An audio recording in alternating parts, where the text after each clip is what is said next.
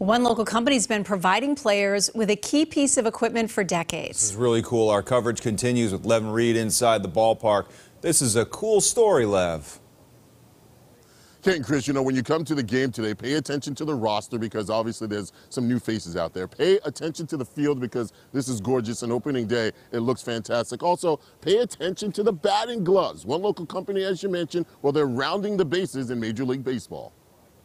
There's nothing like being the official brand of Major League Baseball, and that's what Franklin Sports is when it comes to batting gloves. all of our gloves are made for the professional athlete. Right.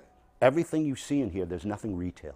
The local company has been helping players get a comfortable grip for years, and John Ballas basically does all the footwork. When Larry had asked me to go down to spring training in 1983, I thought this was a one-time deal. Every spring training, John meets with every MLB player and he finds out how they want their batting gloves to feel. Red Sox first baseman Triston Casas has some specifications. I've put double leather On the in back? his palm. Mm-hmm. Why? Because he wears actually a leather piece on his hands, because he on his right hand, he likes that thickness. Then the players get sent the gloves for the season. A player will go through anywhere from probably six to eight dozen pair a year. But if you remember Lenny Dykstra, Yes. he would go through 400 pair a year. There's also special gloves for different highlighted days on the Major League Baseball calendar. Jackie Robinson Day, Armed Forces Day, Memorial Day.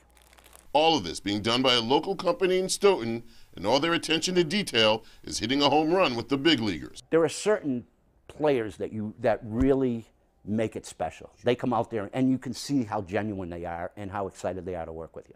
That's really what makes it fun.